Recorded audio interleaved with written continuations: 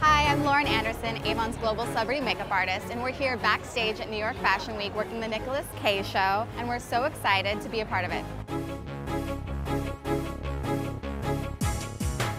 For the makeup, we wanted to go with something more minimalistic, so we created a dramatic look only with the bottom lashes.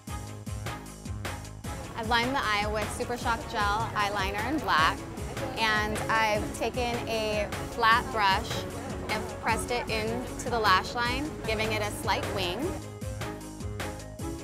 So it's just, it's that line, but it, it's, it's smudge. And then I'm going to apply a strip of lashes on the lower lashes as well.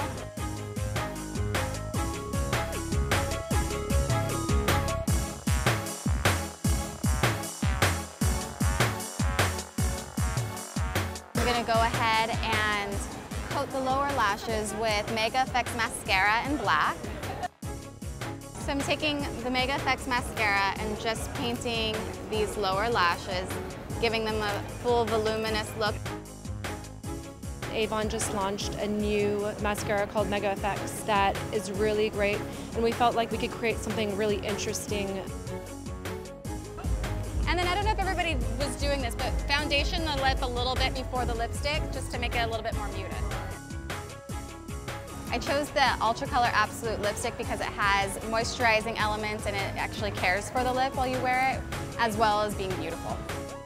So the look is muted and the only thing that really draws focus is that lower lash line. The girls just are like an untraditional beauty.